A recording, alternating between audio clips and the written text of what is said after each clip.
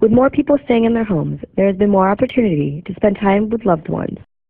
I know personally, I have hung out with my family, my grandma.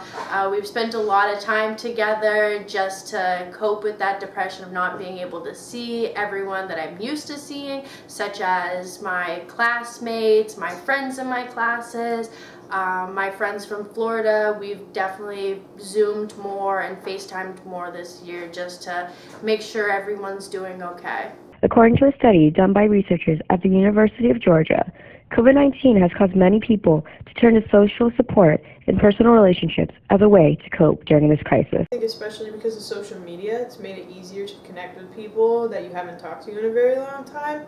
Whether it be kids from like elementary school or other family members, it's just made it a lot easier, which all in all has made it easier to cope with things like anxiety and depression when you can't communicate in person. Out of thousands of people interviewed, over 25% said they have experienced heightened stress and social isolation due to the pandemic. However, they mentioned that they have leaned heavily on others to cope with their struggle and picked up healthy habits along the way. Speaking with Teresa Belvins from Suffolk University Counseling Center, she discusses how important it is, especially for students, to practice healthy habits in order to cope during this time.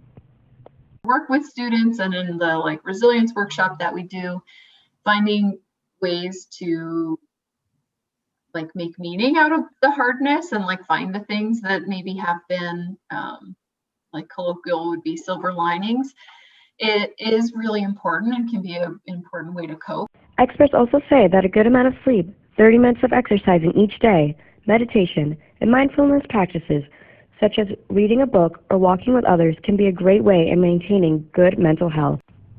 In other positive news, the United States is currently working on a COVID 19 vaccine and hopes to release it sometime in 2021. I'm Mia Minnucci, reporting with Lauren Comeau at Suffolk University.